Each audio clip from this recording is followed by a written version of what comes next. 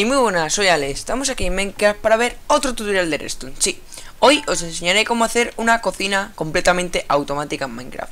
Esta cocina lo que hace es usar alimentos, en serio Esta cocina lo que hace es cocinar alimentos de forma completamente automática Usando una fuente de calor y nos la devuelve en la nevera. Por ejemplo, aquí tengo yo un poco de comida de todo. Recuerdo que esto vale con cualquier tipo de comida cocinable Voy a ponerlo aquí en el cofre. Como podéis ver desaparece. Y aquí la placa de calor es tan fácil como echarlo. Y automáticamente se pone a funcionar sola. Vamos a comprobar de que no hay nada en la nevera Para que no digáis cosas, ¿vale? Esto es una nevera.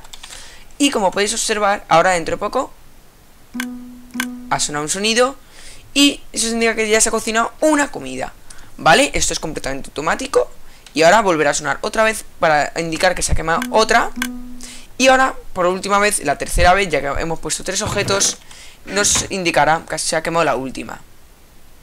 A ver. Perfecto.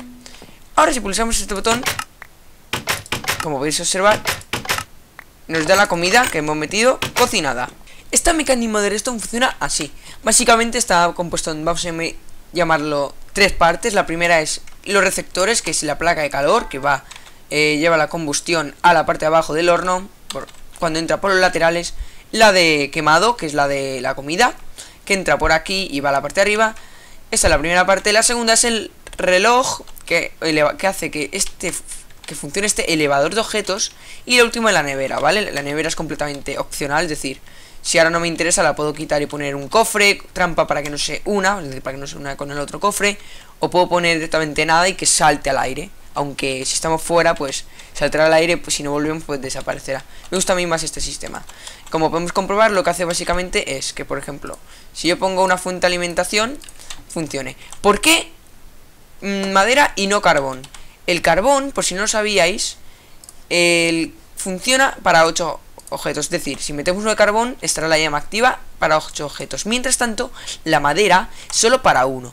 De esta manera ahorramos mucho más calor y hacemos que no gastemos tanto carbón. Imagínate que vamos a quemar dos y metemos uno de carbón porque gastamos mucho. Y solamente la madera es muy económica, ya que con un tronco sacamos cuatro y eso nos da pues, para cuatro objetos. Y tampoco no es que cocinemos mucho, la madera muy fácil de encontrar. Como podéis observar, metemos aquí la patata y se va a la parte de arriba del horno. Y si dropeamos aquí el objeto, se la parte de abajo y se pone a funcionar. Cuando esto acabe pasará al dropper que hay aquí y esto encenderá este reloj de redstone, haciendo que emita una señal de redstone y eleve el objeto hacia arriba. Como vamos a ver ahora, como podéis ver, eleva el objeto y lo lleva arriba del todo. Y aquí ya está, esto ya prueba antes y nos la da cocinada y pulsando el botón la lanza. Es una cosa muy sencilla y al mismo tiempo muy práctico. ¿Esto también sirve con otros objetos quemables? Pues sí, funciona también con charcoal, con minerales, pero yo le he dado un uso más cotidiano, es decir, más de quemar comida, que es más útil. Como he dicho antes, podemos hacer perfectamente esto y poner aquí un cofre trampa, como puede ser ahora mismo mm, así, así, y ahora mismo se nos metería aquí el objeto en vez de usando el sistema antiguo, o directamente podemos poner pues una cosa así, y eh, haría que el objeto salte o ponerlo así tal cual. Eso ya a vuestra elección, yo prefiero usar la nevera aunque haya que usar un bloque de metal pero el metal es bastante abundante. Y bien, vamos a construirlo. Para hacer este tutorial usaremos todos estos objetos que hay aquí. Son un poco variados, no usan gran complejidad puede que el comparador por el tema del cuarzo pero normalmente es muy sencillo hacer este, este sistema.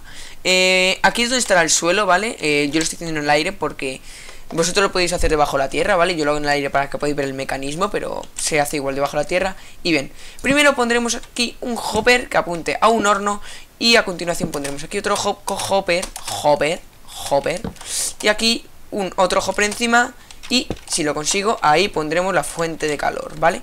Ya tenemos el primer sistema listo, vale. Ahora cogeremos el dropper, que lo tengo aquí, y lo pondremos. Pondremos uno aquí, otro y otro y si queremos hacer la, la nevera, pondremos otro aquí apuntando en horizontal, ¿vale? Esto lo podemos quitar. Bueno, ya lo, lo arreglo.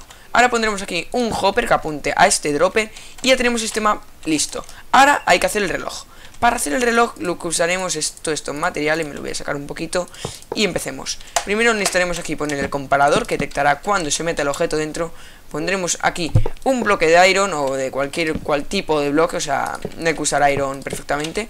Pondremos esto tal que así, pondremos aquí redstone, aquí un repetidor a 4 ticks, que serviría para hacer delay después desactive.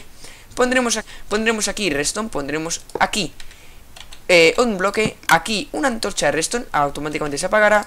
Extenderemos esto por aquí, pondremos aquí un repetidor a un tick, o a dos tick, como lo llamarlo, para que el reloj no se funda, pondremos aquí redstone y pondremos aquí el bloque del, de lo que queramos que sea nuestro suelo, en este caso madera. Ya teníamos lo que es la parte de arriba hecha, o sea, ya tenemos el mecanismo y ahora vamos a decorarlo. Haremos total que así y ahora eh, procederemos a hacer la nevera. Para hacerla, para poner la puerta, si intentamos ponerla desde aquí, como vamos a observar ahora, a ver, ahora lo vais a ver vosotros, bueno, vamos a poner primero el bloque. Si intentamos poner de aquí, pasa esto. Para que no pase esto, tenemos que ponerla desde aquí, ¿vale? Ya estaría listo y ahora lo que tenemos que hacer es poner el botón y ya está. Ya está. Ya está. Podemos comprobarlo. Vamos a coger esta vez un pescado y un... Un poco de esto. Ponemos aquí el... ¡Uy! ¡Uy! ¡Qué tonto soy! Que me falta el notebook. El notebook va aquí, ¿vale?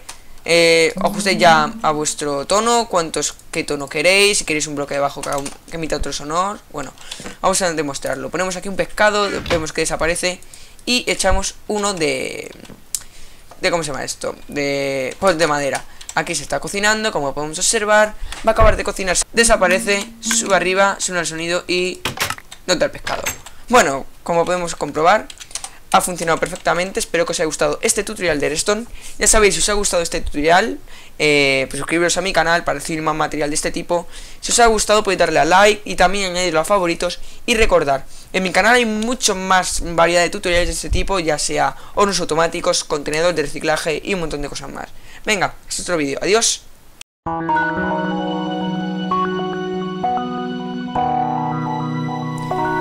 Bueno, espero que os haya gustado el vídeo y los nuevos elementos audiovisuales que he puesto al vídeo, como puede ser la marca de agua, la intro, la outro y los cartitos que hay por el vídeo. Ya sabéis en la descripción vuestra opinión sobre esto. Adiós.